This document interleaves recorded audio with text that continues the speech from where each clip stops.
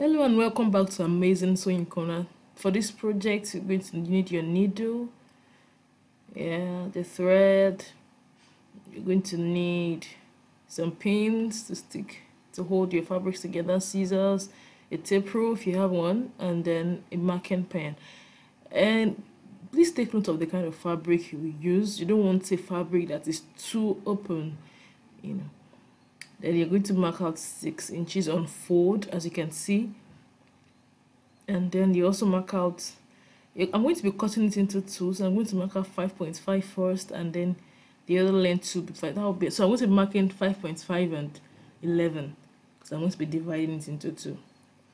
So as I was saying please take notes of the kind of fabric you'll be using for this project for the nose mask because the main reason why you're using the nose mask is to protect or um, prevents entry of fluids, you know, of anything into your onto your face or your nose or so you don't want to use a, a that's like a net that is opened. So make sure you use a tightly woven fabric so that you'd you get the best of it. So I'm just going to connect those lines and cut it out and I'm going to be cutting both the main and uh, main um, fabric and the lining from this small piece. So definitely the first one is going to be the lining or the main one and the other one will be the lining. So.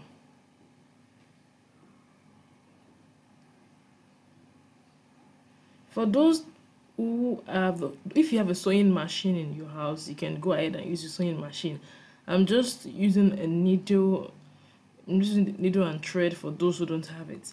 So you're going to fold it again into two so that makes it four um four unfold so then the elastic forgot to mention that you're going to measure 12 inches and cut. Because you're going to need six inches for both sides so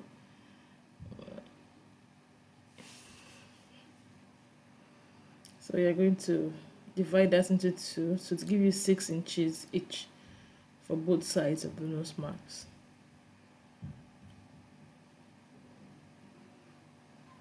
So let's go straight to the cutting again. Because I unfolded it so I'm going to fold it back into four yeah again yeah. This is not the same way you fold your fabric for a peplum. This is folding without the Hangu that we use so just folding like just fold this as you can see me as you have seen me do it. So you're going to mark out four quarter that's the tip of the where that four quarter is is the tip of the face mask. So I'm just going to mark it out and connect the lines. Four quarter. So now from the tip you're going to measure 1.5 you see 1.5 and mark it out. That 1.5 is what grip your nose the face marks. So if you feel like your your nose is smaller you can reduce it to one quarter or one inch.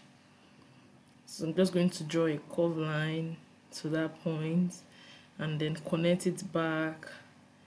It doesn't have to be perfect just connect it so like this. So if you feel like your nose is going to be then the 1.5 will be too much you can reduce it. Better still cut like this and then adjust it afterwards so you don't make a mistake.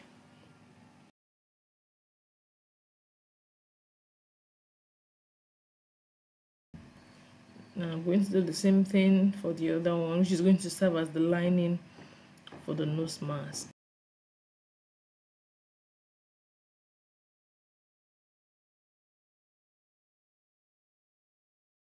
so so you're, you're going to have four pieces. So two for the main mask and then two for the lining. Yeah if you're using a sewing machine just sew across the curved lines. So make sure right side is facing right side. So you're going to be sewing on the wrong side. Please note that. So and then I'm going to be marking out a curved line where I'll be sewing on. You can do that too because I'm going to be using the needle and thread. So you don't want to be very careful you're not sewing off. Um, so you're going to be marking a quarter inch um, 0.25 just to sew on. So I'll do the same thing for the lining make sure the same thing make sure the wrong side and the right side face right side and and we are going to sew on the wrong side.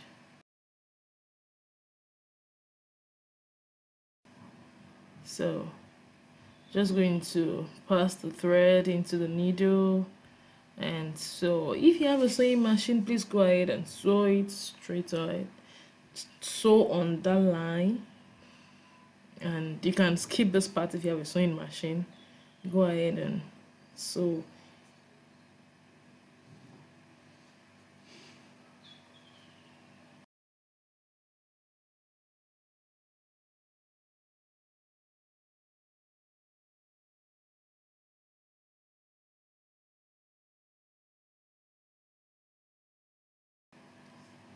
So take note of how you sew. You pass it from behind, from the back, not from in between, from behind. Then you pass it back so that you can lock the stitch. You know, you're sewing with your it's a needle, not a machine. So you lock the stitch and the kind of stitch I'll be using is a back um, is it back fourth stitch it's just stitch that you go in between the previous stitch and then come out again with another line so that way you're making sure to lock it very well to lock each stitch because you want to make sure it is very very um, tightly knitted close as possible.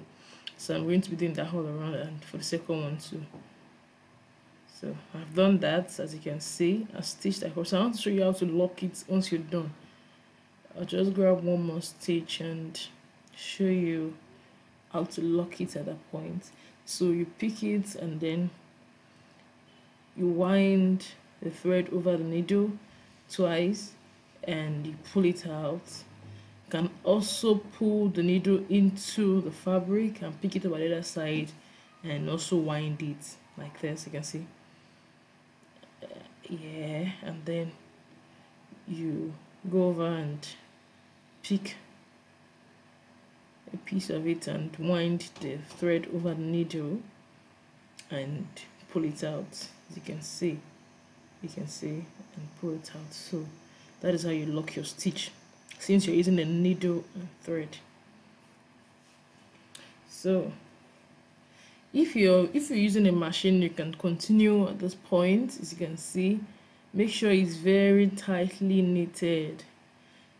There shouldn't be hole. So don't put any hole in it. You can see mine is as, is as tight as that of a sewing machine so so you're going to be facing the right sides together and you pin it.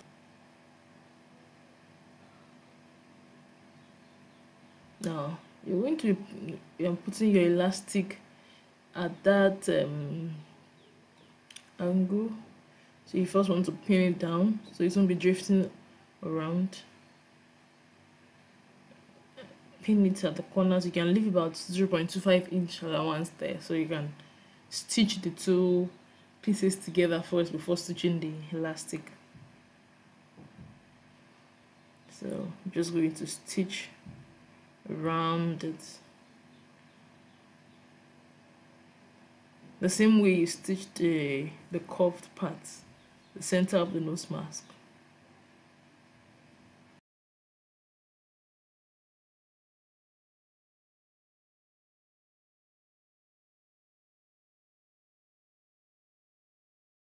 So it's going to be faster if you're using a sewing machine, but if you don't have a sewing machine, nothing to worry about. You can as well do it as I'm doing it in this video.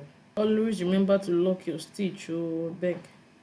Because this is needle, needle and thread. Is not a sewing machine stitch so there's a tendency for it to pull back. So just always lock your stitch. So you can see that the elastic is already fixed. You can see at one side. So sorry the camera wasn't capturing it well. So I'm just going to mark in 0.25 stitch allowance or seam allowance or sewing allowance. Just where you'll be sewing on. This is a needle and thread um, project so you want to be very very careful so you're not sewing zigzag. So just mark that out and stitch on that line. So I'm going to be marking that all around and leaving about two to three inches allowance where I, I'll be able to turn out the fabric. And if you sew it all around there's no way you will turn it out. You only have the wrong side so just leave that two inches allowance so you can turn the fabric out. So use that one to turn it turn it out. Lock your stitch and at any point where your thread finishes make sure you lock it before you get to the point where you can no longer pass the um, the thread through the needle. So make sure you lock your stitch and then you cut the, the remaining and pass in the fresh one. So you can see that the other one too is intact so just going to sew the other side to the point where we'll be turning it out. So as you can see done and I'm going to be turning it out. So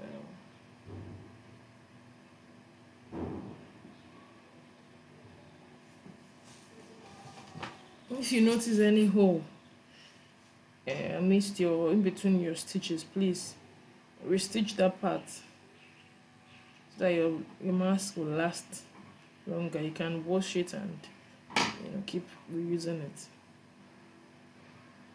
So just going to fold it in. Fold the 0 0.25 seam allowance that you've been sewing on. Fold it in and then stitch on it as you can see. So our mask is ready yeah these are the other ones i made. Thank you so much for watching. I'll see you in the next one. Bye